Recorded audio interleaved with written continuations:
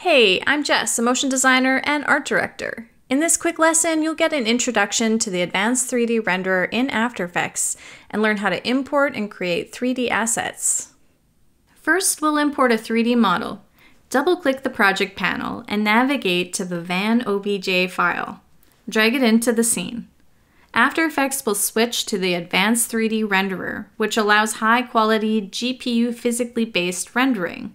We can import 3D models, use environment lights, and materials on 3D layers. Click OK. You can make some adjustments in the model setting. In this case, let's click on Make Comp Size. Let's hit OK. And there you have it. The 3D model is ready to go. You can find ready-to-use 3D models from Adobe Stock. You can also create your own models with 3D software of your choice.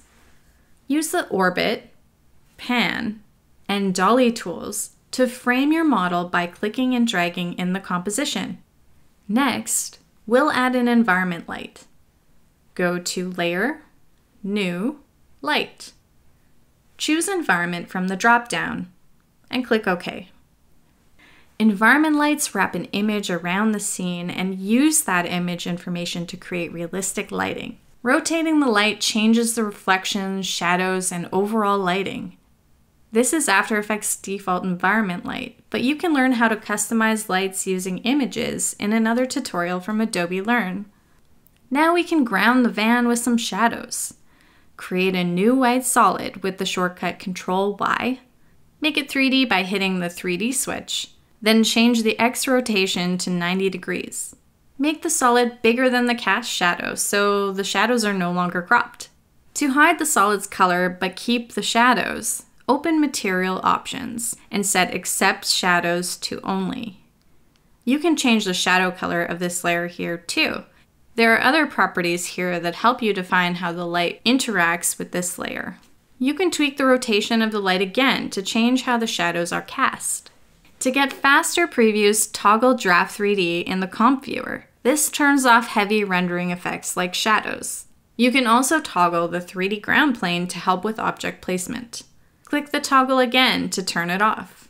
Next, we'll add some 3D text. Create a text layer, make it 3D, and position it near the van. Under Geometry Options, we can increase the extrusion depth to give it some sides. Under Material Options, we can change these properties to refine the look of the layer. In this case, let's just boost the specular shininess to give it some shine. To stylize further, on the text layer, click the arrow next to Animate. Within this menu are various components of the 3D text and additional properties such as color and materials for each.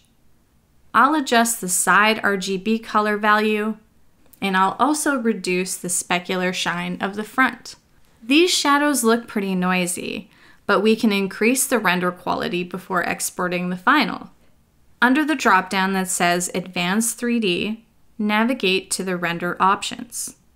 We can increase the overall render quality and dial in the shadow resolution and smoothness here. Keep these settings low while you're working for better performance and raise them for final output or preview. The casting box size controls how much of your scene receives and calculates shadows. The dotted pink line indicates the bounds of the map. A bigger box size requires more calculations and longer render times, but if it's too small, it will cut off the shadows. So try to find the right balance. It doesn't change the shadow quality, just the coverage area. Now that you know how to import 3D models and make your own 3D shapes, you should check out the lesson about image-based environment lighting. Thanks so much for watching!